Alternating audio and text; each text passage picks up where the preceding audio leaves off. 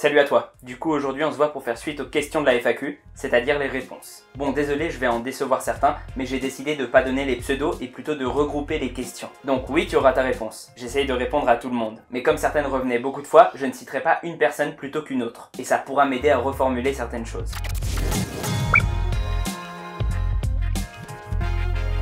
D'abord, première étape, ce que je pourrais appeler les présentations. Alors j'ai 23 ans et je m'appelle Gaïs. Ça se prononce comme maïs, mais avec un G à la place du M. Et ça s'écrit comme ça. Pour ce qui est de mes études, c'est un poil chaotique. Laisse-moi t'expliquer. J'ai commencé par faire un bac STD2A, c'est-à-dire sciences et techniques des arts appliqués. Et je te vois venir, j'ai pas pris techno parce que j'étais mauvais à l'école, mais parce que je voulais vraiment devenir dessinateur à l'époque. Et puis en fait, je me suis rendu compte qu'on faisait très peu de dessins académiques et du coup, ça m'en a plutôt dégoûté. Coup de bol, à l'époque, je faisais déjà du kendo depuis un certain temps, et ça, ça me plaisait vraiment. J'ai décidé de m'orienter vers la fac, et le anglais-japonais. Et ça, parce qu'au cours du cursus, on peut partir pendant toute une année au Japon. Donc pour moi, ça voulait dire énormément m'entraîner. Au Japon, ils sont 1 500 000 pratiquants, nous en France, on est à peine 5000. Bon, j'ai obtenu ma première année, hein, mais au fur et à mesure que j'avançais, je me rendais compte que la culture me plaisait de moins en moins. J'ai donc bossé comme un forcené pendant 4 mois pour pouvoir économiser assez d'argent pour partir au Japon de mes propres moyens en laissant la fac de côté. J'ai réussi et j'y suis allé pendant 5 mois. Comme je m'y attendais, le kendo c'était incroyable, mais le reste, hormis deux ou trois trucs, c'était pas transcendant. Enfin du moins, pas à mes yeux. J'en ai profité néanmoins pour lancer mon blog de sport Geek and Fit. Et puis c'est apparu comme une évidence.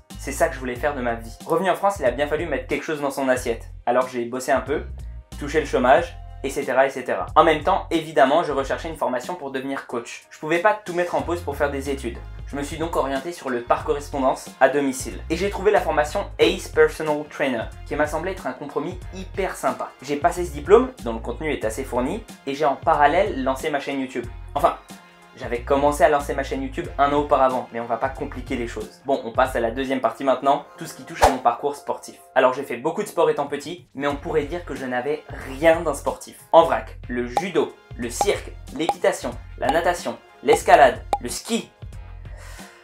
Mais j'étais asthmatique, chétif et surtout je préférais 100 fois lire un bon bouquin plutôt que me dépenser physiquement. Au désespoir total de ma mère, qui, bien que très versée dans l'art, avait été une très grande sportive durant sa jeunesse s'entraînant avec des athlètes olympiques de ski. J'étais tellement passionné par la lecture que je pense que je finissais environ un livre par semaine, voire en période de vacances scolaires, un livre par jour. Et de ça est né mon amour pour la BD, que ce soit franco-belge, manga ou comics. J'ai même appris à dessiner sous la tutelle d'un auteur de BD. C'est dire. Mais tu vas me dire qu'est-ce que ça a à voir avec le sport? Ben à vrai dire, à mes 13 ans, j'ai lu dans un manga nommé Kenshin qu'il existait un sport nommé le kendo. Je me suis demandé si un club existait dans ma ville et surprise, oui, pour la première fois, je voulais vraiment faire une activité physique. Et eh ben j'ai vite déchanté, hein. C'était dur, j'étais pas à l'aise, et de la vie générale des professeurs, ils me l'ont dit après coup, j'étais le pire élève qu'ils aient jamais vu. À la deuxième année néanmoins, alors que je voulais arrêter, il y a eu un élément déclencheur.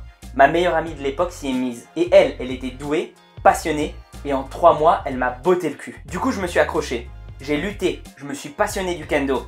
Et c'est comme ça que j'ai réussi au fur et à mesure à ne plus enchaîner les défaites. Au bout de ma troisième année, à la toute fin de la saison, je réussissais à avoir ma première médaille. À la quatrième, je finissais champion de France de ma catégorie. Bref, au long de ces 10 et bientôt 11 années de kendo, j'ai accumulé des récompenses. Et c'est ce que tu peux voir derrière. Pour ce qui est de la musculation, je me suis simplement rendu compte qu'à 55 kg pour 1m69, ça risquait d'être coton pour l'avenir en compétition. Il n'y a pas de catégorie de poids au kendo et dans une certaine mesure le contact physique est autorisé. Autant dire que je me suis musclé par nécessité. J'ai commencé à 15 ans à faire des choses pour gagner du poids, mais je considère avoir véritablement commencé la musculation à 21 ans, avec des poids et des haltères. Le but a toujours été pour moi la performance en kendo. Le physique c'est un bonus appréciable, mais un bonus. C'est pour ça que je rigole bien quand on me dit que mon physique est pas incroyable. Bien sûr, je suis pas culturiste. Maintenant la troisième partie, les performances et objectifs. Actuellement je suis à 72,5 kg avec un peu de gras des vacances. J'étais pas chez moi pendant un mois et j'ai essayé de limiter la casse, mais j'aime manger. J'estime que je suis entre 12 et 14% de masse grasse qui me donne un FFMI d'environ 22,5 pour ceux qui se poseraient la question. J'ai jamais envisagé la prise de stéroïdes ou de produits anabolisants parce que je pense que le rapport risque-récompense est bien trop dangereux. Si c'était dépourvu d'effets secondaires, pourquoi pas? Mais là, ça reviendrait à échanger de ma durée de vie contre un peu d'ego.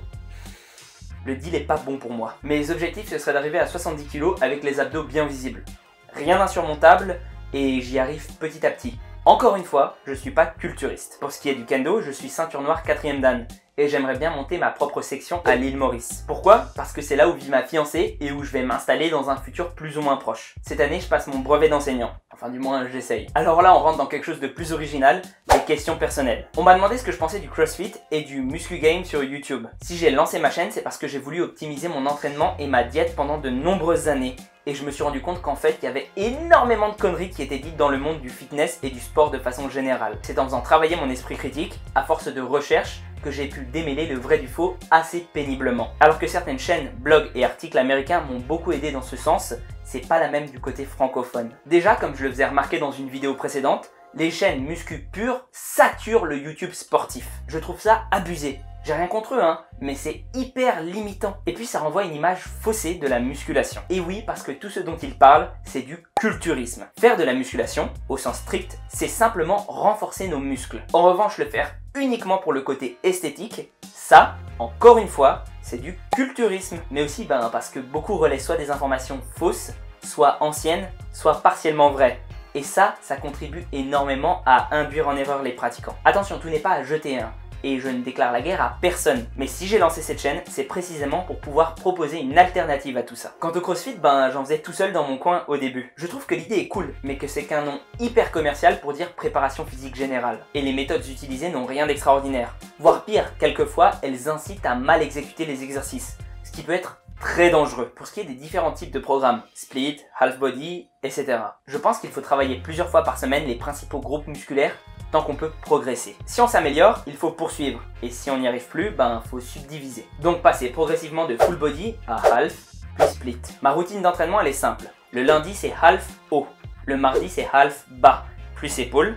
Le mercredi c'est abdos, muscles que je fais pas travailler d'habitude, genre le cou, l'arrière des épaules, etc. etc.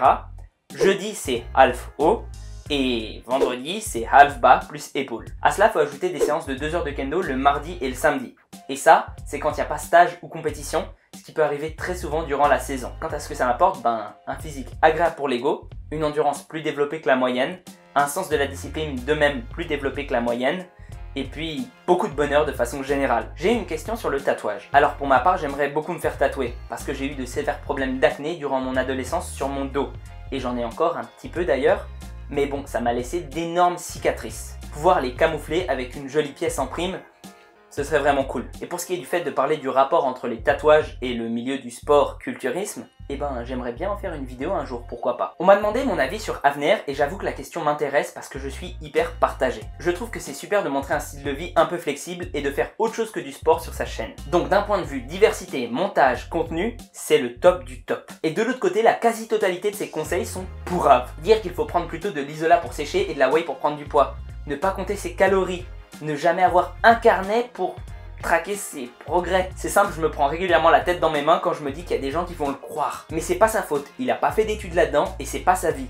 Sa vie, c'est le cinéma. Et ça, il le fait bien. Pour ce qui est des autres chaînes que je suis, je te mettrai les liens en description. Ce serait trop long pour en parler ici. Non, je vais pas oublier la question la plus importante.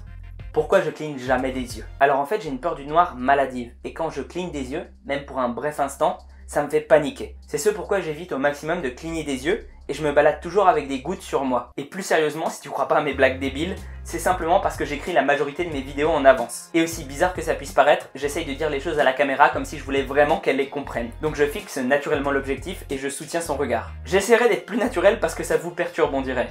Mais bon, c'est pas facile. Ah, et dernière chose, on a complimenté plusieurs fois ma diction au cours de ces jours derniers. Je n'ai pas vraiment de mérite sachant que je fais mes phrases jusqu'à ce que je les trouve bonnes.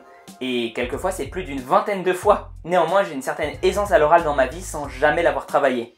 Je suppose que ça me vient de ma propension à parler beaucoup. En tout cas, merci à toutes et à tous pour vos questions. J'espère que ça vous aura un peu éclairé sur mon humble personne. Prenez soin de vous et à la prochaine.